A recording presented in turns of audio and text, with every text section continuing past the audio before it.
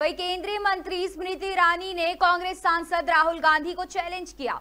उन्होंने राहुल गांधी को यूपीए और नरेंद्र मोदी सरकार के कार्यकाल पर डिबेट करने की चुनौती दी।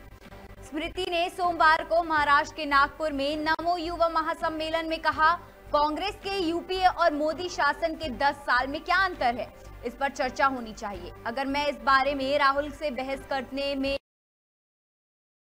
वे एक मामूली कार्य गारंटी कर देती हूँ कि अगर बीजेपी युवा मोर्चा का कोई कार्यकर्ता भी राहुल गांधी के सामने बोलना शुरू कर दे तो उनकी बोलने की ताकत खत्म हो जाएगी।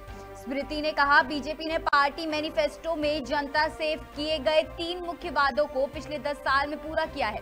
इसमें जम्मू कश्मीर से आर्टिकल 370 हटाना, संसद में महिला आरक्षण लाना और राम मंदिर का निर्माण शामिल है। केंद्रीय मंत्री ने कार्यकर्ताओं से कहा कि मोदी ने हर गारंटी पूरी की है। अब आपको, अब की बार 400 पार की गारंटी लेनी है। उन्होंने कहा, मैं उन्हें बताना चाहता हूँ कि हम सब मोदी के परिवार हैं। ये युवा मोदी के परिवार हैं। भारत के 140 करोड़ लोग उनका परिवार हैं। कोई उनका बाल भी बाका नहीं कर पाएगा। और अगर राहुल गांधी तक मेरी आवाज़ पहुँचे तो कान खोल कर सुनो मैदान तुम चुनो कार्यकर्ता हम देंगे आओ तुम्हारे 10 साल और मोदी के 10 साल के बीच में क्या फ़र्क है इस पे चर्चा हो जाए? युवा मोर्चा का एक भी साधारण कार्यकर्ता जाकर राहुल गांधी के सामने बोलने लगे तो राहुल गांधी में इतना दम नहीं कि युवा मोर्चा के किसी कार्यकर्ता के सामने टिक जाए।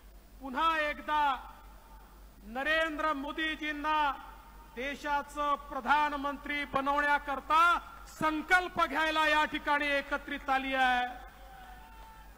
आणि आपला संकल्प काय आहे?